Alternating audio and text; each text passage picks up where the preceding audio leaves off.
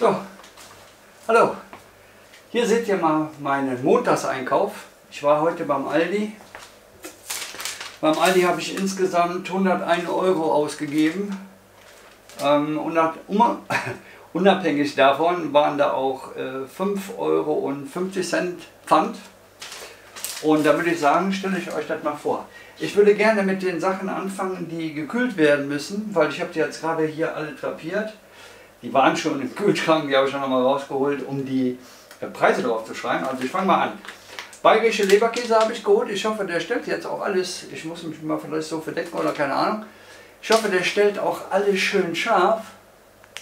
Aber naja, wir werden sehen. Ähm, bayerische Leberkäse kostet 3,65 Euro. Davon habe ich mir zwei Stück geholt. Das ist halt super lecker. Das mache ich mir auf dem Brötchen oder auf dem Brot oder esse einfach so. Noch ein Spiegelei dabei. Ein bisschen Zwiebeln darüber. Ganz toll. Außerdem hatten die heute noch äh, süßen Senf, auch beim Aldi. Also war beim Aldi einkaufen. Ich weiß nicht, ob ich das schon gesagt habe. So, machen wir mal weiter. Das war der Leberkäse. Dann habe ich mir geholt gehacktes. Da sind 800 Gramm drin. Und äh, das hat 5,99 Euro gekostet für 800 Gramm. Halb und halb. Davon habe ich mir zwei Pakete geholt. Ich habe hier noch einen Weißkohl. Da mache ich mir einen lecker Weißkohlsalat. Also ich hatte das wieder mal so in der Hoffnung, so, dass das schön scharf, ist er vergessen? Nein. dass er das schön, schön scharf macht. Vielleicht muss ich aus dem Bild so. Naja, gut. Schauen wir später. Dann, also weil er gleich in den Kühlschrank muss, habe ich noch viermal Königer Frischkäse geholt. Da kostet einer 99 Cent. Der ist auch sehr lecker, finde ich. Meine Frau vor allen Dingen isst den sehr gerne. Vier Stück. Einmal Butter, einmal Markenbutter. Das ist die Markenbutter. Und die hat gekostet 2,09 Euro. Auch wunderbar. So, dann kann das weg. Ja, hier habe ich geriebenen Käse. Einmal für Gratin, also zum Gratinieren und einmal Mozzarella. Da hat jeweils das Paket, was hat er denn gekostet? 1,99. Ich schaue das auch mal rein. 1,99 das. Und 1,99 das. Das ist auch sehr lecker, weil das geht auch re relativ schnell mit einer Bechamelsoße. Da Käse rein und hier so ein paar Nudeln. Zeige ich gleich, weil die werden ja nicht schlecht. Das ist wunderbar, haben wir auch ein tolles Essen. So, was habe ich noch geholt? Hier habe ich noch Frischkäse. Frischkäse mit Kräuter. Moment, so. Frischkäse mit Kräuter. Auch wunderbar. Hat gekostet 1,49. Sind drin, was ist noch drin? 300 Gramm. Hm. Wunderbar. Ähm, dann Emmentaler. Emmentaler essen wir auch gerne am Brot. Hat gekostet 2,59 Euro. Und weil ich gerne Schinken mag, habe ich mir noch Schinken geholt. 2,49 ist jetzt nicht so billig für 200 Gramm, aber ich finde den recht lecker. Halt ja mal so. Du musst aber den Kopf verdecken, damit er das scharf stellt. So, ich hoffe, das war scharf. Okay, für die, ähm, für die Kohlrouladen nehme ich noch gerne Bacon, da wickle ich ja Bacon drin rum. Da habe ich mir dreimal Bacon geholt. Ich zeige mal einen Bacon so. Ich hoffe, das wird auch scharf gestellt. Ja, der hat mich ja, ich muss mich immer so verstecken. Na, ja, ich glaube jetzt hat das. Da hat ein Paket ähm, 79 Cent gekostet. Und habe ich irgendwas vergessen, was noch schnell weg muss. Die Brötchen habe ich die Brötchen gezeigt. Für mich zeige ich die halt nochmal.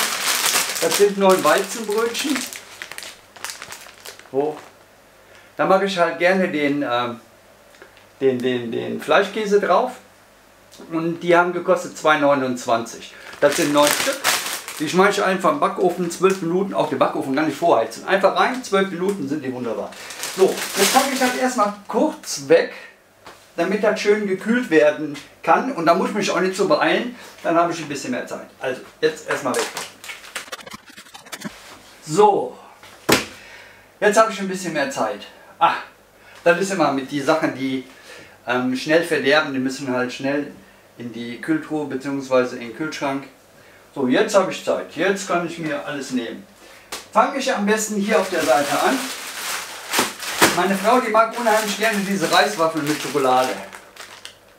Oh, ich hoffe, das wird wieder schön klargestellt. Die haben gekostet, normalerweise habe ich mir da drauf geschrieben irgendwo, ah, 1,99 ein Paket. Also meine Frau, die mag die halt sehr gern und ja, man leistet sich ja sonst nichts, also was Leckeres zu essen. Ähm, wir leben zu dritt im Haushalt, also meine Frau, mein Sohn und ich. Und mein Sohn, der mag halt super gerne Chips. Ja, welches Kind mag keine Chips? Und ich hole aber nicht die teuren, ich hole die von Aldi, Aldi Hausmarke, keine Ahnung. 1,09 Euro und da sind drin 200 Gramm die sind auch recht lecker. Ja. Davon habe ich zwei Pakete geholt. Dann Salzstangen, die mag ich allerdings auch sehr gerne. Äh, Salzstangen, nicht Salzstangen, Salzbrezel, die mag ich auch gerne. So. Salzbrezel, 99 Cent. Ein Paket habe ich auch zwei Pakete. Und Flips. Flips, auch 99 Cent. Auch mal schön reinhalten. Kosten auch 99 Cent. Ja, die mögen wir, ja? Und dann habe ich meinem Sohn noch hier so eine Tüte Haribo geholt. Haribo Colorado? Ja. Oder? Ja, Haribo Colorado. Die sind allerdings für 1,69 wirklich nur für meinen Sohn, weil wenn ich die esse, ich bin ja nicht der Schlankste und die haben Kalorien. Also da muss ich aufpassen. So eine Tüte hier, da sind ähm, 320 Gramm drin. Und 100 Gramm haben 358 Kilokalorien. Also das ist schon eine Menge. 358 mal 3. Oh mein Gott. So eine kleine Tüte, 1000 Kilokalorien. Also, das ist schon heftig. Und die kann man mal eben so wegschnabulieren. Naja, lassen wir das. Ich besser nicht. Mein Sohn kann das vertragen. Das ist so ein, ja, der hat eine gute Figur. Der, der ist noch jung. Ja, mein Gott. Als ich jung war, war das auch anders. Was ich prima mag, sind so Sandwichscheiben. Die kann man schön toasten oder ich habe auch so einen, kleinen, so einen kleinen Kontaktgrill, da kann man die reinschmeißen. Bisschen, bisschen äh, Wurst drauf, bisschen Senf oder Ketchup oder keine Ahnung.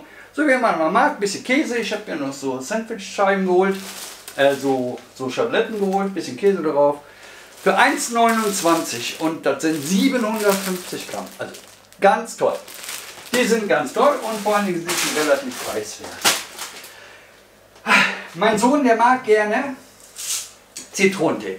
Der macht sich immer diesen Zitronentee, diesen, ähm, ja, da muss man ein Wasser auflösen, der haut sich da, glaube ich, für, für so eine Kanne. In der Kanne sind, ist ein Liter drin, da macht er 20 so Löffel rein. Naja, jedenfalls kostet das 1,99 und weil die das nicht immer haben, weil die das nicht immer haben, habe ich da jetzt sechs Stück geholt. Dann hat der Junge erstmal Ruhe und kann sich Zitronentee machen. Ähm, Normalerweise sollte man das ja nicht machen, aber ich mache das halt. Ähm, Smacks und hier habe ich mal zum Ausprobieren so Karamell Grips. Karamell Grips, mal so. Dann sind die komplett im Bild. Ja, ein bisschen so, kann man besser lesen. Karamell Grips und die kenne ich ja schon lange. Oh, so, damit er nicht blendet. Und Honeybeat, also das sind so ähm, ja, wie heißen die denn von Kellogg's? Ja, das sind so Dinger mit Honig. Die sind sehr lecker. Und da kostet, kostet? Kostet die Packung, jetzt habe ich mir irgendwo auch geschrieben, 2,79. Also das ist auch Aldi Hausmarke, hier Golden, Golden Bridge. Aldi, Aldi Hausmarke, auch nicht so teuer. Bedeutend billiger als Cornflakes. Oder ist Cornflakes die Marke? Kellogg's. Kellogg's ist die Marke.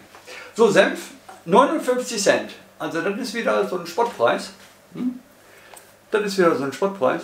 Den finde ich voll in Ordnung. Ich habe zwar noch Senf, aber ich habe immer gerne Ersatz.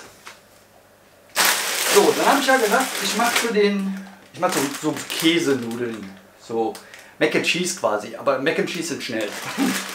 Und da habe ich mir jetzt zwei, zwei so leckere Macaroni geholt, die sind auch schon kaputt.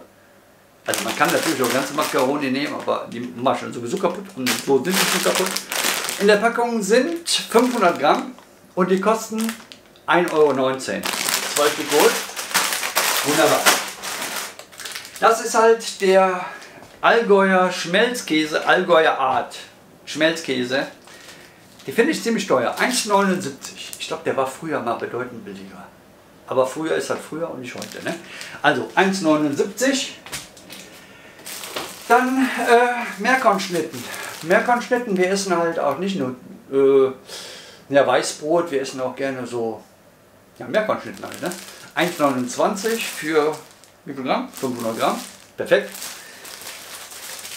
Dann meine Frau, die macht im Gegensatz zu meinem Sohn, trinkt die so Brausetabletten. Da gibt es einmal hier Magnesium und Vitamin C. Die ist davon überzeugt, da kostet 50 Cent so ein Ding. Da gibt es eigentlich auch eine rote, die hatten wir aber heute wieder nicht.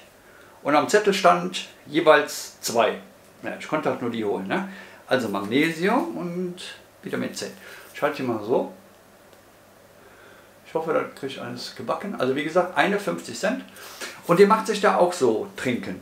Die nimmt da so eine Flasche und macht sich das da, keine Ahnung wie viel, wie viel da rein, aber naja, ihr schmeckt das wunderbar. Ich bin jetzt nicht der Kaffeetrinker. Und wenn ich Kaffee trinke, ja, dann will ich da nicht eine ganze Kanne trinken, dann will ich eine Tasse trinken. Und eine Tasse irgendwie selbst aufschütten. Und ich habe auch so eine Kapselmaschine, aber Kapselmaschine finde ich auch sehr teuer. Ich habe einen Wasserkocher, mal einen Wasserkocher an. Dann ist der heiß und dann habe ich hier, wie viel ist drin? 100 Gramm löslichen Kaffee. Der schmeckt mir ganz gut. 2,99 kostet der. Finde ich jetzt nicht so wahnsinnig teuer. Mir schmeckt der lösliche Kaffee, gefriergetrocknet. So. Habe ich einen, den mache ich auf, einen habe ich Ersatz. So, dann habe ich mir Salz geholt. Weil ich wollte eigentlich ähm, Suppen, Suppengrün kaufen, zweimal. Also so, so Packungen, wo Möhren, Sellerie und so alles drin ist. Hatten sie aber gar nicht. Aber ich ähm, mache mir dann so Gläschen und bereite die schon mal vor. Das heißt, ich schnibbel das alles klein und äh, konserviere das. Und das muss ich mit äh, Salz konservieren. Jetzt normalerweise verwende ich Jodsalz. Das Jodsalz kostet auch nur 29 Cent. Aber zum Konservieren ist Jod, Jodsalz nicht so gut geeignet. Deswegen nehme ich zum Konservieren so ähm, der Schatz der Alpen, Alpensalz. Das kostet allerdings, ich denn noch geschrieben? 75 Cent, genau. Das kostet 75 Cent, aber weil ich das nicht so oft brauche, da hole ich mir halt das. Dann den Weißkohl, Gott sei Dank hatten die schon mal einen Weißkohl, weil ich liebe äh, Kohlrouladen. Deswegen habe ich auch das Gartes Gold und den Bacon Gold und Kohlrouladen. Da kostet ein Kilo 90 Cent, das sind 1,96 Kilo, sollen 1,77, also 1,77 habe ich für das, für das Ding hier bezahlt. Und ja, habe ich hier drauf geschrieben, also das schmeiße ich sowieso weg, egal. Lecker Weißkohl. So, dann habe ich noch ein paar Datteltomaten oder Cherry-Tomaten, aber hier steht, hier steht wirklich Datteltomaten. Hier schon 500 Gramm Datteltomaten. Ich muss halt ein bisschen drehen, glaube ich. Sonst blendet die Lampe. Hat das gekostet? Das hat, also um Deckel. 1,79. Also die kann man auch so abends mal wegnaschen. Oder wenn man Brot isst. Oder, ja. Dann wollte ich noch einen Eisbergsalat holen. Hatte sie aber auch nicht. Oder beziehungsweise die sahen nicht mehr so schön aus, als dass ich hätte kaufen wollen. So, dann ist mir der Paprika ausgegangen. Ich einmal Paprika scharf. Ich hoffe, das kann man sehen. Und Paprika edelsüß. Paprika edelsüß. Da habe ich halt keinen mehr. Und so ein Döschen hier kostet, ich habe auch aufgeschrieben.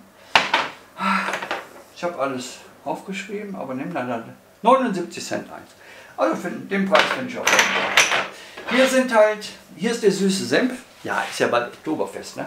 Hier ist der süße Senf. Hm, kann ich auch mal so in die Kamera. Hier ist der süße Senf. Und der hat gekostet 1,29. Der war sogar im Angebot. Zwei Stück. Die kann man ja immer mal gebrauchen. Mit natürlich auch lecker mit Leberkäse. Ne? Gut. Und Also, Nussschokolade. Ja, gibt die tollste Nussschokolade. Aber diese Hausmarke von Aldi kann ich echt empfehlen.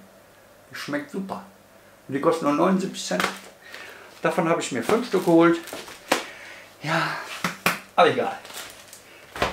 Und normalerweise haben wir noch genug, genug Toilettenpapier da. Aber ich habe ein neues geholt. Weil das war heute im Angebot für 3,15 Euro. Ich weiß jetzt gar nicht, was das normalerweise kostet. Ich glaube 3,75 Euro oder irgendwas. Jedenfalls war es im Angebot und wenn was im Angebot ist, weil ich sowieso kaufe, und das wird ja nicht schlecht, kaufe ich das. So, das war alles. Das waren insgesamt, bezahlt habe ich 101,86 Euro. Jetzt muss man noch die 5,50 Euro, was ich an Pfand hatte, abziehen.